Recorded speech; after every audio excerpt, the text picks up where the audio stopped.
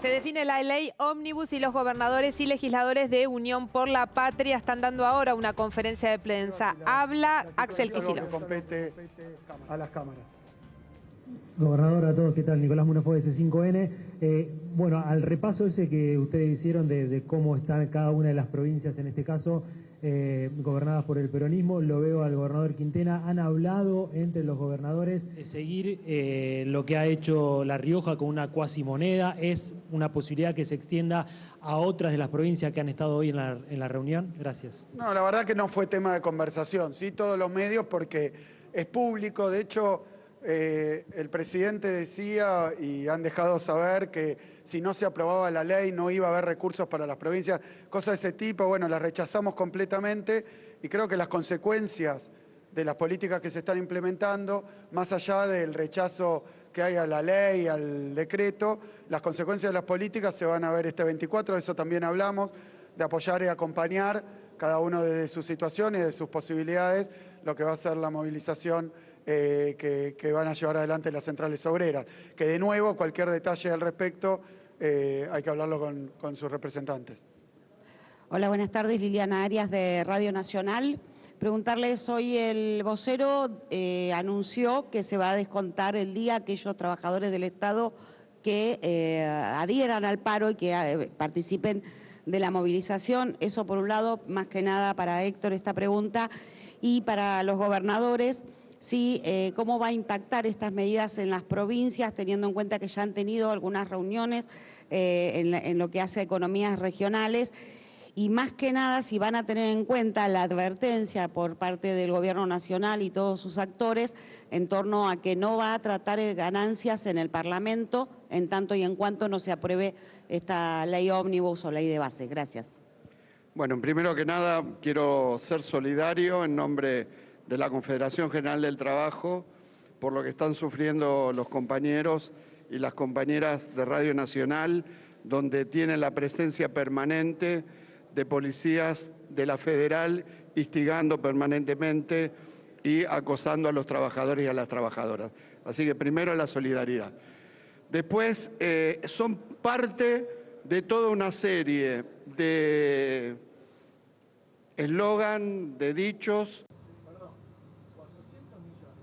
intentar minimizar lo que va a ser una movilización, una movilización del, pueblo, del pueblo argentino, demostrando que no está de acuerdo ni con lo que está establecido en el proyecto de y ómnibus, ni en el DNU que fuera girado eh, hace poco tiempo para su tratamiento también en el Parlamento. Así que eh, nosotros nos vamos a movilizar. Acá no es un tema de costo, sino es la defensa de la, los derechos laborales, de los derechos de tantos sectores que están tocados y los derechos en definitiva de la patria. Diego de Marco, de Canal 9. Eh, ah. La pregunta es si el tema de la advertencia quedaba. Mira, yo creo que lo notorio, recién estábamos hablando, incluso dimos informes de la situación en las provincias y de los municipios, donde la demanda de asistencia y acompañamiento de, de, aquellos que están empezando a tener dificultades graves por los costos de alimentos, por los costos de medicamentos. Y bueno, eh, si eso viene acompañado de ahorcar y ajustar presupuestos provinciales, que hay una idea de que es para los gobernadores, pero no.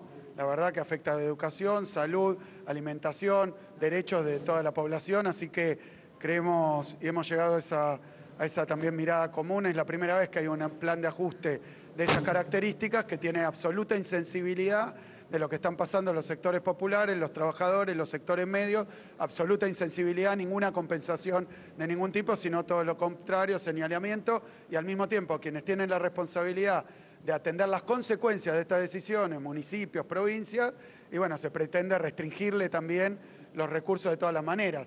Ayer estábamos también en una reunión con intendentes de nuestra oposición que nos hablaban del sistema de salud, cómo le afectan las medidas de este gobierno, eran intendentes que no son de nuestro partido político, pero claro, aumentan los medicamentos.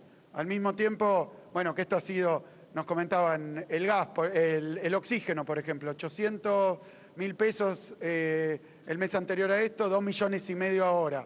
Determinados medicamentos, 5 mil pesos, 30 mil pesos. No lo pueden afrontar los municipios. Los que dan único prestador en muchos municipios de la provincia de Buenos Aires.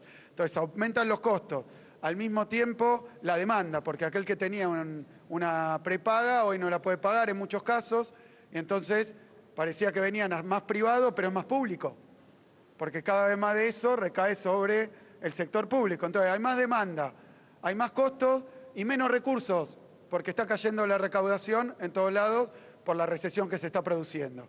Entonces pedimos que reflexionen, que tengan un poquito de sensibilidad y conocimiento de la situación que está pasando el pueblo, que es nuestra única preocupación y eso es lo que estamos tratando de articular. Por eso creo que la respuesta en punto a los derechos de los trabajadores eh, ha sido siempre una cuestión que tiene que ver con defensa de, de, aquellos que más necesitan, más sufren y aquellos que hoy todavía tienen un trabajo. Entonces, a eso me parece que lo último que uno espera es que haya una respuesta de agresión permanente. Nosotros no vamos a entrar a ninguna provocación, no la vamos a responder y vamos a hacer lo que tenemos que hacer y para lo que también tenemos legitimidad por haber sido votados, que es acompañar a, bueno, en mi caso, al pueblo de la provincia de Buenos Aires, pero cada uno dado en representación de, aquellos que, tienen la responsabilidad encima. Gobernador, más allá que, es una tarea legislativa, como usted dijo, eh, mientras estaban reunidos surgió la información de que eh, podría haber modificaciones en esta ley ómnibus en más o menos 100 artículos. Quería saber porque ustedes también son representantes de, además de ser gobernador, representantes de áreas productivas, si ustedes estaban al tanto de estas modificaciones, eh, de qué se tratan, y por otra parte saber, más allá que adhieren al paro, si lo van a hacer de manera eh, orgánica, si se quiere, movilizándose y acompañando ese día a la movilización. Y hay una voluntad muy fuerte de movilizarse en todos los sectores, en todo el país también, nos han comentado en todo el país, pero bueno, esto será viendo, será viendo con el transcurso de los días.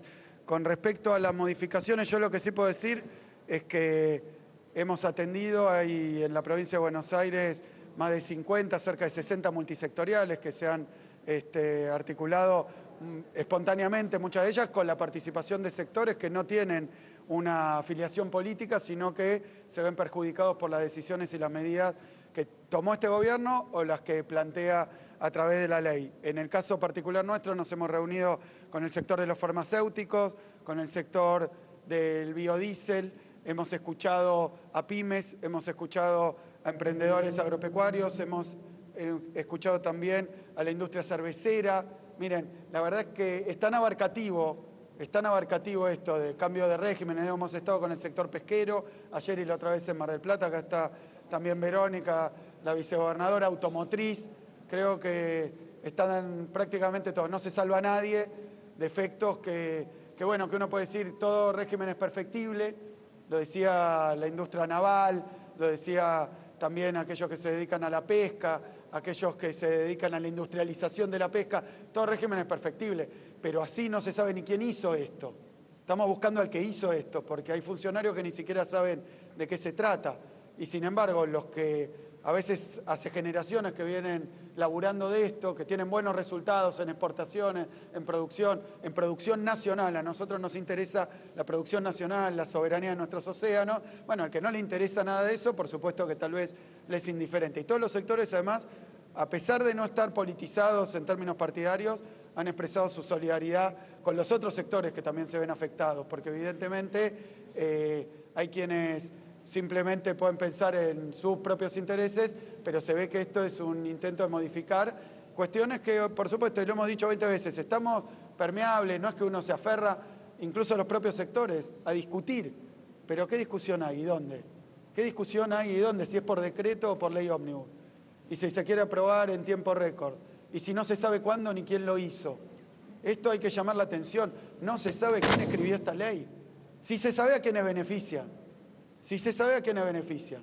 Entonces, bueno, obviamente es muy irregular esta situación, muy irregular, tremendamente irregular y muy perniciosa. Para la provincia de Buenos Aires, provincia productiva, provincia industrial, es tremendamente pernicioso. Entonces, en ese sentido, creo que es natural estar tratando de dar una discusión y a veces sin encontrar ni siquiera con quién darla. Así que,